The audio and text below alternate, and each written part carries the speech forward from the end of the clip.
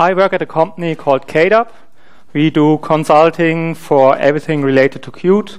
And one thing we do multiple times is that customers approach us about performance problems in their Qt Quick applications or Qt Widget applications. And since that is something I've seen quite a lot of time, quite lots of times, I want to tell a bit about performance and how to approach analyzing and fixing performance of your Qt Quick applications.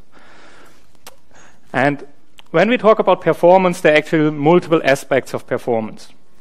One could be startup time. Uh, for example, if you have an embedded device that the user turns off and on quite often, then boot time and startup time matters. Even on the desktop, startup time is important because if your application takes five seconds to load, that simply makes a bad impression. Other aspects of performance would be the frame rate, how smooth your application is. Or as Gunnar says, you need to have velvet animations that run at 60 frames per second. Um, then we have other aspects such as memory usage could be important if you have a constrained device, multiple applications running, you're not allowed to take too much memory. Then you might have um, power usage is important for mobile phones, of course. Boot and responsiveness. With responsiveness, I mean if you press a button, how long does your UI take to react? Since all that is much too much to cover in one talk. I'll focus on two aspects that is startup time and uh, rendering performance velvet animations with 60 frames per second. Um, for that, I'll have two examples, uh, and we'll start with the first one, and we'll start with startup time. So startup time as a C++ programmer, so all my applications are usually are hybrid applications, C++ and Qt Quick. And as a C++ programmer, the first thing when your application is slow or starts up slow, the first thing you should do is take out your C++ profiler and have a look what happens at startup. Um, so I've done this on this example. One of the bars blacked out because it would reveal too much about the project, which I'm not allowed to talk about. Um, this is a, just a normal C++ Qt Quick Hybrid application, and the profiler I'm using is vTune. So, so I'm a Linux person. Are unfortunately not that many good performance tools available. vTune is one of them. Then we have CacheGrind, which is a Valgrind plugin. Then we have Perf on modern Linux systems. On the desktop, I quite like vTune. Uh, it's not free for commercial projects. It costs money. Uh, but if you're an open source developer, for example, in the KDE community, I can highly recommend trying out vTune. Anyway, so this is the application. Um, one thing we see here, main calls a lot of different things. And we can see some things take, take quite a lot of time. And there are two approaches to that. You can look into that and try to optimize the, like, break it further down and do some micro optimizations. But the best thing to fix performance in C++ code is to call less C++ code. For example, imagine you're developing an in-vehicle navigation system, and that has voice commands that tell you to turn left and turn right and make an illegal U-turn and so on. These voice commands, you need to load the voice packs from disk, and that takes time. But why do it at startup? That would be a typical example of things that can be delayed until later. Or the fonts here. Do we really need to load all the 100 different fonts the font designer gave us, or are we actually just using three or four? So best way to actually reduce the things happening at startup as much as we can. So that might fix the font, maybe can delay the initialization of storage and so on. Um, but the big elephant in the room is this Qt Quick set source, the Qt Quick view. When the Qt Quick view loads the QML file, in this example, it takes most of the time. And people who have no idea about the QML engine internals it's just black magic what's happening there. We cannot really see what's going on and how to make things faster by looking at a C++ profiler here. Even people who know the QML engine internals, they might know what these functions will do, but what components I actually loaded and what actually happens you can only know by looking at the data structures and not by looking at the profiler. And before I want to go into the QML profiler, which is a higher level tool, since C++ profile is clearly too low level to analyze the Qt Quick part of that scene, I want to talk a bit about the profiler, uh, the C++ profilers. For every tool, you need to be aware how your tool works and what your tool measures. That's quite important. For example, if you profile with Valgrind, you need to be aware that it counts instructions. So Valgrind, for example, will not show you if you spend time uh, loading a file from disk, which on embedded systems with slow flash memory can take a lot of time. Valgrind will not show you when you have a sleep in your application. Believe it or not, I had one customer project that had a sleep 200 uh, in the main startup phase to fix some race con condition with some IPC initialization. Profiling tools like Valgrind wouldn't find that. Same is true for perf. You need to know if you use perf how it actually works. You need to understand. So please, if you use any tool, read the manual. If you don't understand how your tool works, you are unable to understand the output of your tool. So perf, for example, uses the performance measurement unit of your processor and triggers collection of performance data when some counter overflows, which is again the cycle counter, so you won't see idle time or sleep time like I.O. or sleeping. Um, even vTune has two different modes, but fortunately it has a mode that also can see idle time and sleep time. Um, so know your tools, know what they do, know how to interpret their output, read their manual. The other important thing is only attempt profiling in release mode. It makes a big difference. If your application or your Qt is built in debug mode, your result will be completely off. Um, so try to get a release build with debug information. So the tools need to get debug information to actually get a proper backtrace, but do a release with debug information build of your application and of Qt. If you are if you're developing for embedded, um, most developers developing for embedded also can run the application on the desktop, which usually has better tooling, much nicer debugging. Uh, but for actual profiling, do profile on the device, it behaves completely differently most of the time. And finally, when you profile startup time, you need to use cold caches so uh, on Linux, you can there's a command you can drop the caches. So then when you load a file, it needs to actually access the disk again to simulate normal startup. Um, anyway, we've seen this big block of QML code which we can't optimize or we can't look into further, and we've seen the C++ part which we might be able to optimize.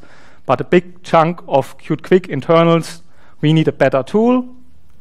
That, of course, is the QML profiler. Ulf Hermann, after my talk, has a talk about the QML profiler. He'll tell a bit more details about that. So I'll quickly show you the most important details. These three rows here are only available in the enterprise profiler. So if you've got the Qt enterprise version, not the LGPL version, uh, you have three additional rows, which might come in useful and handy. Yeah?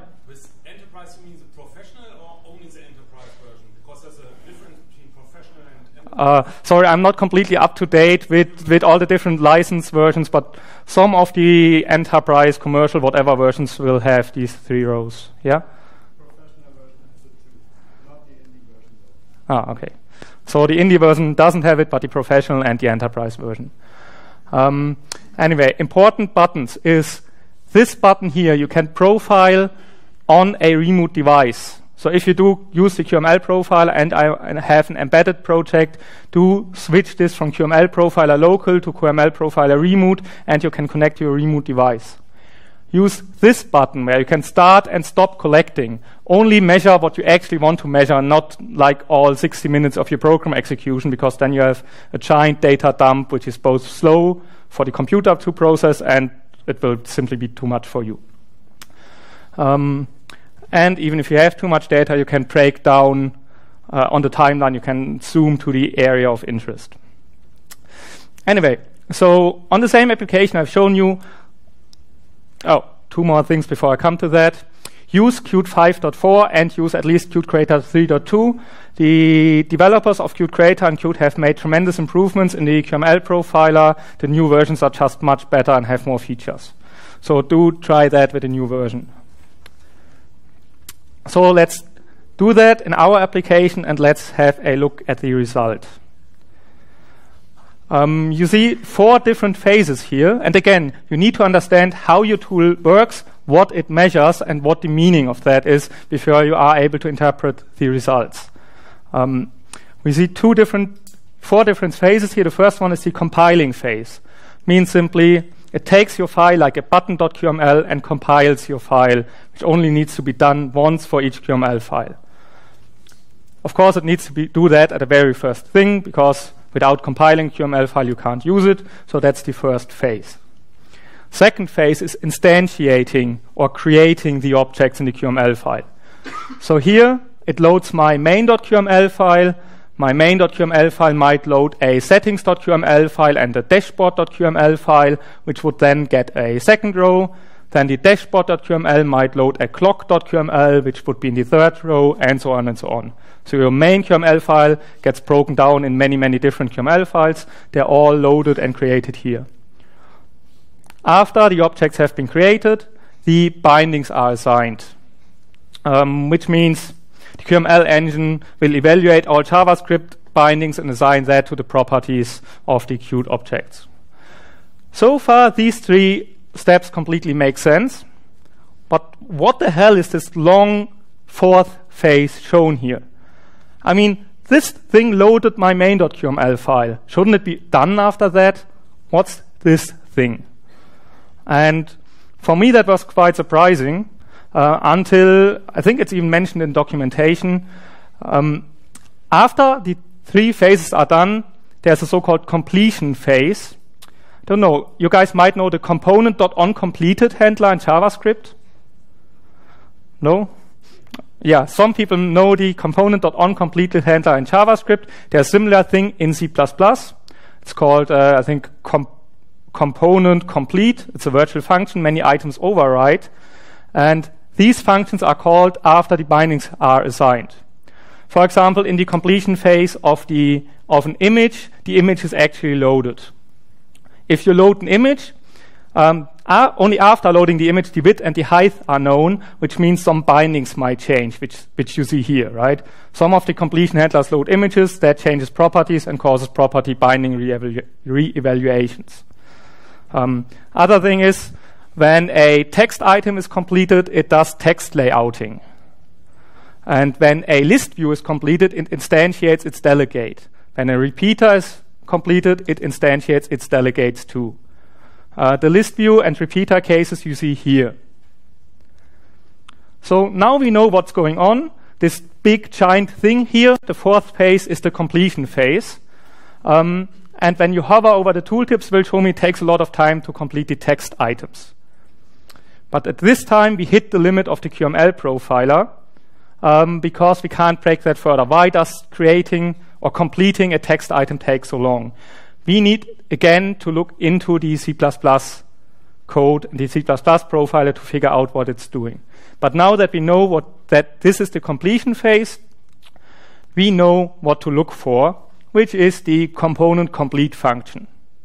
So this is again vtune. It shows that the, that the component complete of the Qt Quick text takes a long time. That is what we've seen in the QML profiler, but the C++ profiler is able to break that further down, and we can see what actually happens. And that is something in qfontconfig database taking a long time.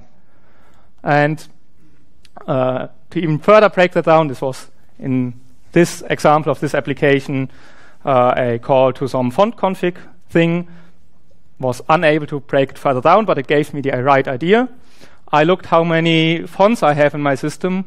Um, might not be very well readable. I simply call fc list, which lists all font config registered fonts.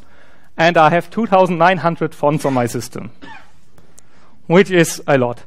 Um, so just for fun, I tried to disable all fonts. In my application, I didn't need fonts. I load custom fonts from a designer anyway. So I disabled all my system fonts which made all applications just draw rectangles instead of letters, but that didn't matter. The result was 700 milliseconds of speed improvement. Um, and that is just an example of at some point you get to the limit of the QML profile, you need to go down into the C++ layer again to further analyze the result. Uh, By the way, getting back my system fonts was kind of a challenge because I used a text editor to edit the font config file. I wanted to edit it back, but my text editor only showed rectangles and not real fonts. So it was kind of hard editing the file with just seeing rectangles, but somehow I managed. Um, so this is one phase, the completion phase.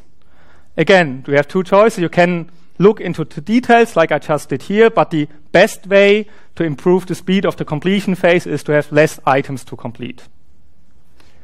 Okay, let's look at the next, or actually the first phase. Remember, in the QML profile, we've seen four phases. This was the first phase, compilation, where it compiles my button.qml, my main.qml, and all my other QML files. This phase usually is quite quick to do. Like this was 30 milliseconds, it didn't really matter. Um, but a colleague of mine told me on some mobile device, his compilation phase actually took two seconds, so it might matter for you. And the best way to improve the performance of the um, compiling phase is to have less items to compile. But if you can't do that, of course, you can still improve. Um, one way to improve the compilation phase is used to use the Qt Quick Pro, uh, the Qt Quick compiler, which is available in enterprise and maybe professional. Again, I don't know the complete license terms. Um, because the Qt Quick compiler compiles the QML files ahead of time instead of just in time, um, which in theory would remove the complete compilation phase, but in practice removes about 50% of it. Uh, they are compiled ahead of time, but they still need to be loaded and registered when the application runs, so the compilation phase is not completely gone when you use the Qt Quick profiler. So mostly the compilation phase is not a problem, but if you've got an enterprise license anyway, uh, why not use the Qt Quick compiler to improve startup a little bit? Next phase, the binding phase. You know what the best way to improve the speed of bindings is? you have less bindings, correct. So the best way to improve that, remove bindings or don't load as many items with so many bindings. But if you have to, if you have to have many bindings, keep your bindings simple. And if your bindings get complex, move the binding code to C++ because multi-line JavaScript bindings are not maintainable anyway, and C++ is faster. Um, and again, the Qt Quick compiler helps here actually. Um, the Qt Quick compiler actually improves the performance of your JavaScript code. Um, the reason for that is what the what normally happens when JavaScript is compiled. Um, so the compiler, just-in-time compiler, creates an abstract syntax tree. From that, it creates an intermediate representation, which gets optimized a bit, and from that, it creates machine code. What the Qt Quick compiler does is does the same. It creates an abstract syntax tree and an intermediate representation, but instead of creating machine code, it actually creates C++ source code. That C++ source code then is uh, run through GCC, and GCC is much, much better than optimization and generating machine code than the just-in-time compiler and the V4 engine is. That is the reason why the Qt Quick compiler actually improves speed of JavaScript execution, because it uses the GCC optimizer. Um, and I got curious. I have a very real world use case here, the very real world benchmark. That's, by the way, why you should never trust benchmarks. They are mostly not real world. Uh, so I have some function, and I was just curious how much the speed improvement would be. Um, if I just run that with normal Qt Quick, that takes one second to execute. With the Qt Quick compiler in release mode, uh, I get a speed improvement of 50%, which is quite nice. With the Qt Quick compiler in debug mode, it runs five times slower, which again highlights the point that you should always profile in release mode and never in debug mode. And of course, the best way to improve the execution time of JavaScript code is have less JavaScript code. Or in this case, do it in C++ instead, which is even 10 times faster than the Qt Quick compiler. Uh, of course, my use case for JavaScript there was a big function, it wasn't a real world binding. For normal bindings, maybe the, the performance overhead is a lot less. How much it is, I don't know. I did one simple test. That one simple test did 15%. Uh, I don't know what the average number of speed improvement there is. Um, let's go to the next phase, creating. The best way to improve the creating phase time is to have less items to create. Um, and you can't, but if you are stuck with your items, you can't improve much there. If you have custom items that are created by the QML engine, uh, make sure your constructor isn't terribly slow, but apart from that, you can't do much here. So to sum up at startup, to speed up startup, have less things to do, and the best way to do that is use a loader to load things on demand later instead of loading them all at startup. And that's all I have to say about startup phase. Uh, we've seen that we can use the QML profiler, but we've also seen that in, at some points you need to go down to the C++ level again um, to, to really get a more detailed view of the results here. So the second topic I want to talk about is rendering performance, frames per second, velvet animations, iPhone-like animations, whatever you call it. Um, and let's take scrolling of a list view as an example. Let's say you have a list view, you scroll the list view, and you see it's not 60 frames per second. What might be wrong? And before you look at the rendering, most of the time it's not actually rendering that is slow. Uh, before you look at the rendering, look at other aspects. You might be on a multi-process system where another process is taking a lot of CPU. For example, one embedded project I'm working on right now uses 10 to 15% of CPU permanently for some IPC communication. So, or other threads you might have in your application. Uh, so make sure the CPU usage of those other threads and processes don't impact your performance. Um, you might have some timers. That actually happened in, in one of our projects. We had a timer running in the background which fired every 50 or 100 milliseconds, and that then did some work. And as a result, scrolling was very jerky and jumped around. So that might be a reason. Timers might be in C++ or JavaScript, so use the QML profiler or use a tool like GammaRay to have a look, look at the timers, multiple ways to find out your timers that are running. Um, another thing to keep in mind in list views, when you scroll list views, in QML list views, it creates a lot of delegates. So the actual items in the list views are created on demand. That might be slow too, but you'll see that in the QML profiler, you see the creating phase, uh, and you can see that there. Um, one thing I usually do is I simply put a rectangle in my scene and make the rectangle rotate uh, with an animation um, that way I can test the rendering performance without, for example, list view scrolling where other things might impact the scene. So I can just see if the rectangle rotates uh, smoothly enough. But anyway, so before you actually look at rendering performance, make sure it's not other aspects playing uh, into your measurements. Once you've done that, it is time to actually look at rendering performance, once you've fixed these issues. Um, there is in the Qt help is a great documentation page that explains a bit how the scene graph renderer works and what you can do to improve scene graph rendering. One important aspect is batching. Uh, I will not go into detail of that. Please read that documentation. Uh, there are lots of useful little tips uh, to improve your rendering performance there. So that's useful to read. Um, but I'll ask you, what is the best way to improve render performance? Yeah, you render less items. That's correct. And one thing or one tool you can use is this environment variable QSG visualize uh, to find out how much is actually rendered.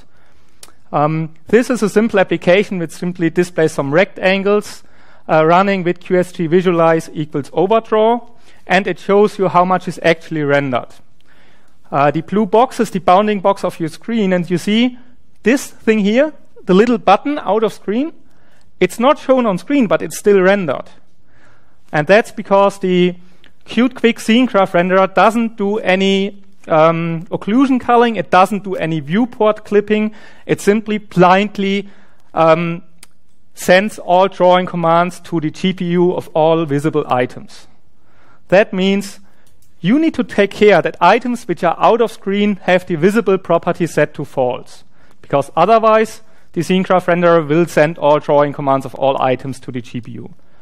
Like a typical situation application might be you have a home screen which you can swipe, then it moves to a different page.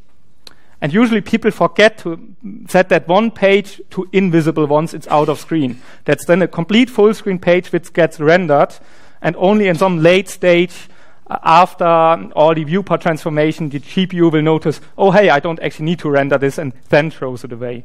If you set visible to false, it will throw away things much earlier.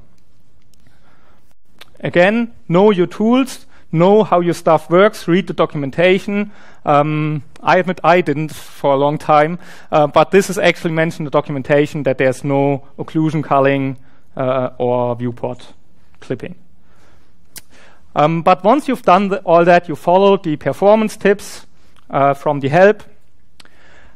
You looked uh, at at the overdraw and saw, okay, I'm not actually render rendering unnecessary items, and your rendering is still slow. Then you might have a look at what actually happens during rendering. There are two ways uh, to do that. If you have the Qt Creator Enterprise version, uh, it will display that in the QML profiler. if you don't have the enterprise version, set the environment variable QSG render timing. Might be a bit hard to read, but this information is basically the same as here. Um, of course, the visualization QML profile is a bit more useful because it uh, it puts it in relation of the other events in your timeline instead of being a big list of scrolling text output. But both show the same information. Make sure you use a threaded renderer loop um, because for some reason this information is only available on the threaded render loop and not the basic render loop. So you might need to set that environment variable just for profiling. Um, and the big thing to be aware of, these timings you see here are times on the CPU. They are not GPU times, they are times the CPU spends doing stuff. Um, let's keep that in mind and have a look at the two different things here. We have the our UI thread, which is the main thread, and we have the renderer thread, and both do things. And again, we need to understand our tools, what they measure, and how they work. So I'll quickly explain what all these numbers are and what these measurements mean. So let's start with the GUI thread. One of the things is the polish phase. Uh, yeah, it's indeed not very readable here, but the polish phase is here. In my example, it takes zero seconds, zero milliseconds to execute. Uh, basically, polishing means each item like makes itself ready for presenting, like it polishes itself and straightens itself out, makes themselves ready for presentation. One item might be a Q quick text item, might do some last minute text layouting. Um, and what I had at one customer was the polishing phase was taking a long time. And the, of course, when you see this, you just see polishing takes a lot of time, but why? Then you need to fall back again one level deeper and look at your CPU C++ profiler. Um, because we know what the polishing phase is, it's basically just the virtual method update polish. So we had a look at the update polish invocation, and it turns out that in one mode, the canvas in Qt Quick uh, does all its rendering in the polish phase. And then we simply figured out, oh yeah, we have too many canvases doing too complex stuff. That shows up here in the rendering in the polish phase. Then we have the animation phase, which is usually just advancing animations. Not much happens, but you might get some binding updates triggered by that. So pay attention to that. Um, and once the GUI thread like has finished that, it has polished all items, it has advanced the animations, then the GUI thread tells the render thread, hey render thread, I'm done, please render me. Then it needs for the then the render thread goes and grabs the scene graph items from the UI thread and copies them to the render thread. Um, because of multi-threading, the main UI thread needs to wait until this synchronization of the scene graph is complete. And that is the block and sync phase. So in here, the GUI thread waits for the render thread to complete its synchronization of the scene graph items. Um, And what we see here in the GUI thread, or which you might not see if you sit there in the last row, is uh, even even I have a hard time reading this. Um, this this here sync takes 100 milliseconds to execute. So we know that now we understand our tools. Now we understand what the program actually doing. We know okay, our GUI thread is simply waiting for the render thread. So if you go back here, yeah, it takes a long time, but it's not actually doing something. It's just waiting for the render thread. So what we need to look at in this example is the render thread. Um, so let's have a look at the render thread. Again, there are lots of or four or five different variables. Uh, frame delta is simply uh, the inverse of the frames per second. Sync is the time it actually takes to copy the scene graph items from the main thread to the render thread. And what the render thread does is basically calls the update paint node method and then copies over the scene graph items that method returns. So again, if in the render thread the sync phase is slow, you need to go down one level, invoke your C++ profiler, and figure out why that is the case. You might have some custom item which has a very slow update paint node method. Usually it's not this phase being slow, but if it is, you now know what's actually going on, you now understand the tool output, and you can debug that further. Um, then we have two things, which is the first render, which is the actual rendering time. So first render is the time the scene graph renderer takes to iterate over the scene graph tree and uh, call the drawing commands and send the drawing commands to the GPU. So first render is basically time it spends iterating over the scene graph and calling OpenGL methods. And then final swap is the time it takes. So after all the drawing is complete, it calls GL swap to wait for the frame buffers to be swapped. Um, and there's one caveat here in these two values. These can be very confusing. Normally what you see, first render is quite fast. It simply sends the, the drawing commands to the GPU and does nothing else. And then final swap takes a long time. Final swap, first of all, you'll never see that being quicker than 16 milliseconds uh, because that's the, the, um, the amount of time uh, one swap takes at least if you run with 60 hertz. That's the vsync period. So it needs to wait 16 milliseconds to wait for the new v, for the next vblank. Um, so the final swap will take some time. And if you're really slow rendering, like if you have tons of GPU drawing commands and the GPU is sweating and, and taking a lot of time, then the final swap will take a lot of time. So if the GPU is busy, uh, this will actually take longer than 16 milliseconds. So if you see swap being slow, it's the GPU being slow. All the other phases we talked about is CPU. Like, like remember the sync, it's not running anything on the GPU, it's actually just a call to update paint node of all items. That's running on the CPU. But if the swap is slower than 16 milliseconds, it is the GPU being slow. With one important and confusing caveat, depending on your driver, depending on your driver, um, the GPU will not block in the swap and wait until all commands are executed in the swap command, but it will do so on the next render command, which usually happens to be GL clear of the next frame. In that case, the render time might actually be slow, because then GL clear, like the first render command you issue, that will block and wait for the frame to be completed. At least that is the case on the driver I have running on my laptop. So usually final swap, if that is slow, it might be the GPU taking a long of time, but it can also be the first render depending on your driver, because then the next OpenGL command that will block until the last frame is completed. So keep that in mind, otherwise it might be confusing. Um, yeah, remember in presentations always disable power management. Here we go again. Um, so if you have a look on the here again, because that is something you can see, uh, we, see, we see in this case swap is actually slow. Swap is slow, so we know for sure, yeah, it's actually GPU commands being slow. The graphics card is taking a lot of time to process the commands you send the graphics card.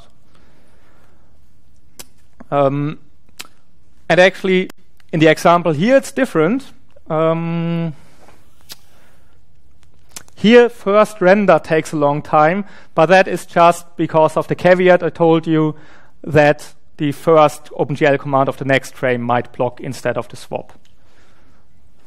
Um, there's also a way to break down this render time more.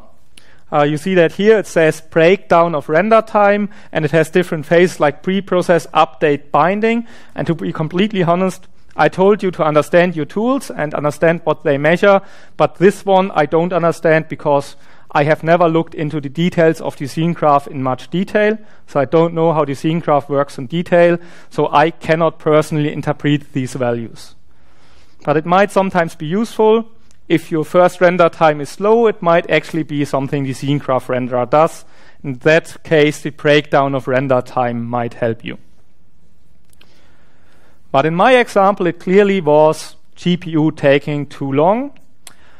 And again, we need a different tool. We need to look into the details. The QML profiler won't give us the details. A C++ profiler won't give us the details since a C++ profiler measures CPU time, so we need to find a different tool. And one nice tool for that is API trace. API trace is a call which basically intercepts all OpenGL calls and measures how long they take both on the CPU and on the GPU. So I've put this scene through API trace. It's available on embedded devices as well. It's a very useful tool. Um, here you have a row how much, how long the commands took to execute on the CPU, and here how long the same commands took to execute on the GPU. And as you can see, the GL clear took a long time but that's only because of the caveat I told you. First, OpenGL drawing command of the next frame. This is actually waiting for the GPU to complete. On the CPU, all OpenGL commands are usually fast because all it does is it, it sends the command to the GPU, so it doesn't spend much time on the CPU there. On the GPU, on the other hand, we'll notice we have one GL draw elements call, which takes a very, very long time. Um, See here it takes 55 milliseconds on the GPU to execute. That is clearly much too slow. And the nice thing about API trace is it has a replay command. So it records all OpenGL commands and gives you the ability to replay your OpenGL commands. And when you replay your OpenGL commands, it can profile them and it knows the state, the OpenGL state at each point, at each method invocation. Um, and it, once you've done that, the replay, you can double click any, any call here, and you'll get details of that call. So here we have all OpenGL calls, the scene graph renderer issued for one frame, and this is the GL draw elements call that was slow in our case. I can examine all the details here, and I can examine the OpenGL state. One aspect of the OpenGL state is the shader, and here we notice I had a completely inefficient shader, a completely inefficient pixel shader. No wonder that's taking a long time. That might, for example, be you know the shader effect element in Qt Quick that allows you to write custom pixel shaders, which gives you nice effects, but of course might cost you some time. This is of course a completely hypothetical example. It's not a shader that has actual work besides doing a long loop, um, but it shows again in your QML profiler. If that doesn't get you far enough, go into the details with a C++ profiler or with tools like API trace to figure out more details. So in this case, you might remove the shader effect or write a more efficient shader effect or something like that. That said, usually the looking at the OpenGL commands won't get you far unless you understand the graph renderer and are willing to fix things in the graph renderer. This was just an example where by pure luck it was actually the result was actually useful to us and was helpful to us. Usually you need to understand the internals of the graph renderer um, if you're really at that point and the GPU rendering is slow and you've all done all the other things I've talked about, like making sure only the visible items are rendered, uh, optimizing your geometry to optimize the batching, like in the like the help patch says. Once you've done that, this is the last resort, but it usually is only useful if you know the scene graph renderer, or if you have custom shader effect items, or if you have written. Many people do that. They embed custom OpenGL items in their Qt Quick scene. Then, of course, this will be useful because these are then the OpenGL commands you actually issued. So in this example, yep, we were lucky and we figured out our shader effect was the problem.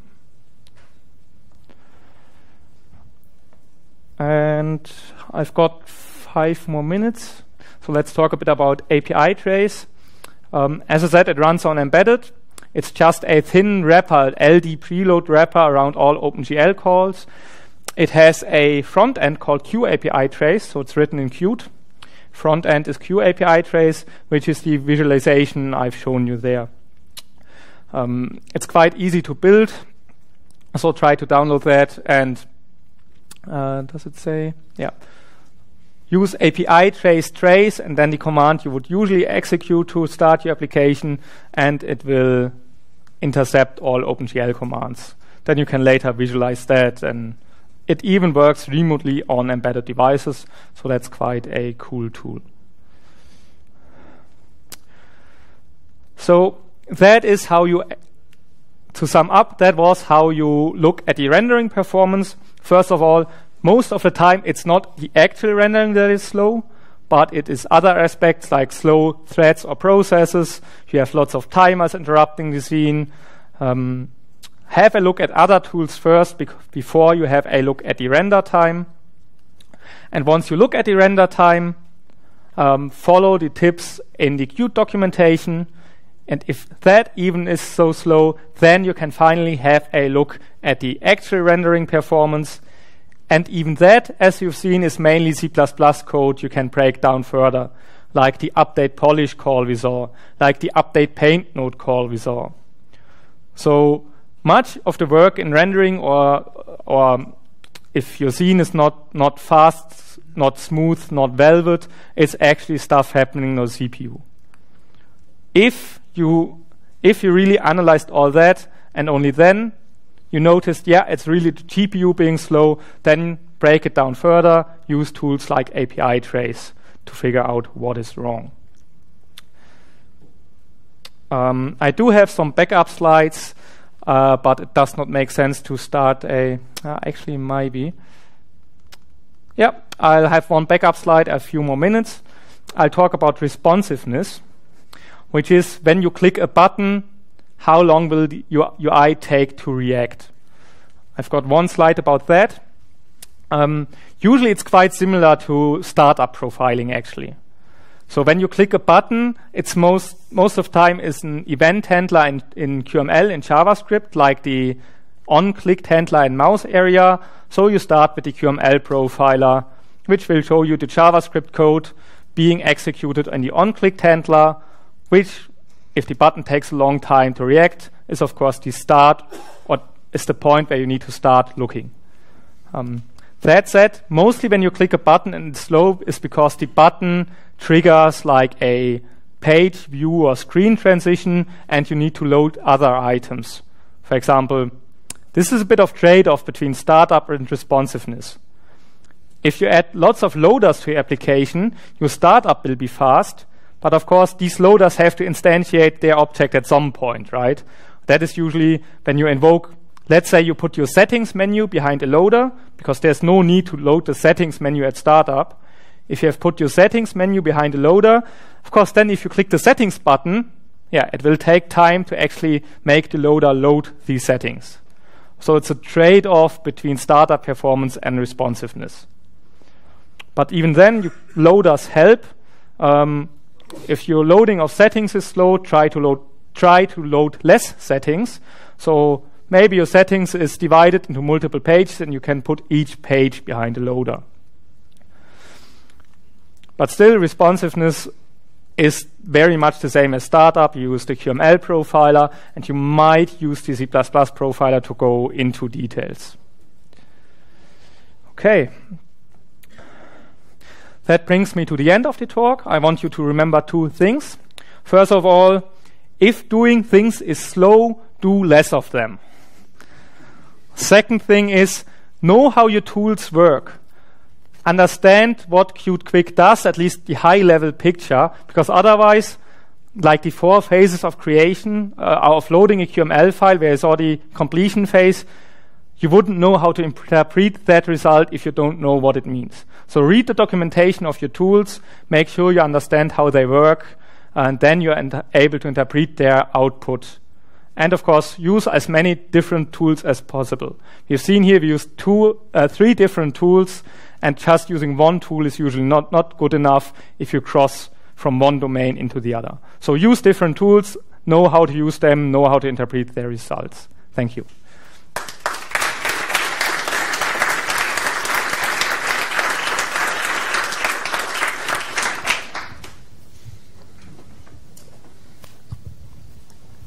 Just a short question. Um, in the logging of the scene graph, there was um, um, it said uh, breakdown breakdown of render time. Yes. So that uh, means uh, in the translation, it's the breakdown comes only up if it's taking too long, so the uh, 60 FPS cannot be hold, or does it mean breakdown because it splits?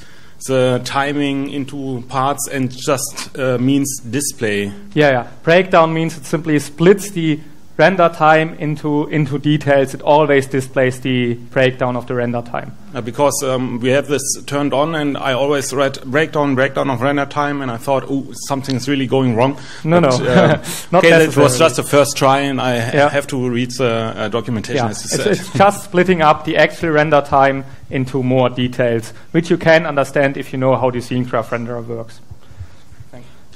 A practical question.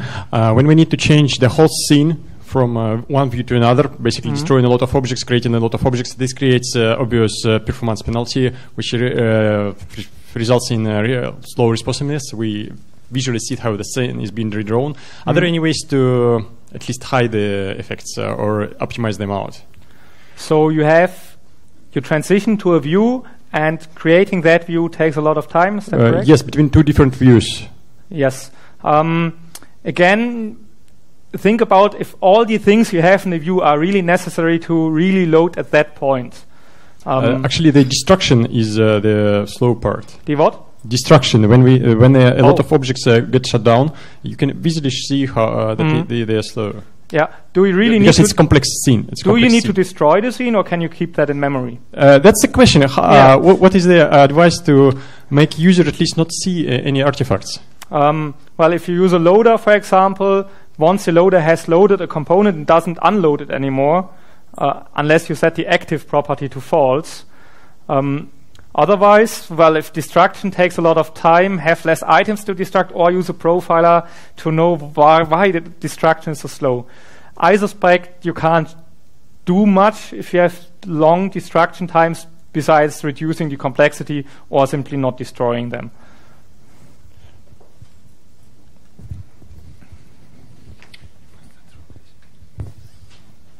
Well, um, in your case, actually, um, uh, what Yeah. you can do is set the old scene to invisible and then uh, uh, destroy the objects with a timer iteratively Ah, and yeah. set the other scene also before you create it to visible and then iteratively cre- create the objects and at some point switch them over. I'll have that in my talk, which is Yeah. right afterwards.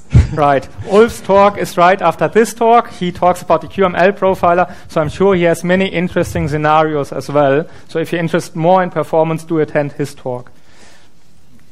Any other questions? You you said that um, uh, when there's not animations uh, on the on the screen, uh, the FPS is zero. Yeah, well, So- it, it won't do any redraws, so you can't measure anything if there's no, nothing going on. Okay, okay. And so uh, when there is uh, a small animation, for example, just an icon, a, Yeah. mo- a movie icon or something like that. Yeah. Uh, are there ways to avoid of redrawing the whole uh, the whole screen? Um, no, the way, or yes and no. So the way the Qt Quick 2 scene graph renderer works by design is it that it completely redraws all of the scene. Like Qt Quick 1 had incremental updates because it used a raster engine. It was able to only redraw the items that actually have changed, but that's not the way OpenGL works. So it redraws everything.